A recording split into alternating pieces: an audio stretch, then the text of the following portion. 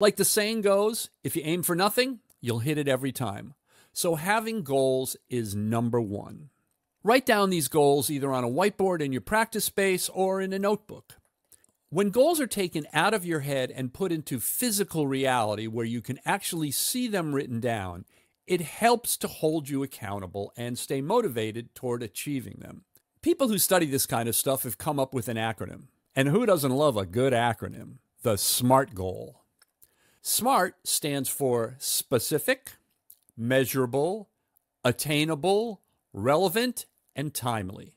What do those steps mean, and how do we apply them to practicing the saxophone?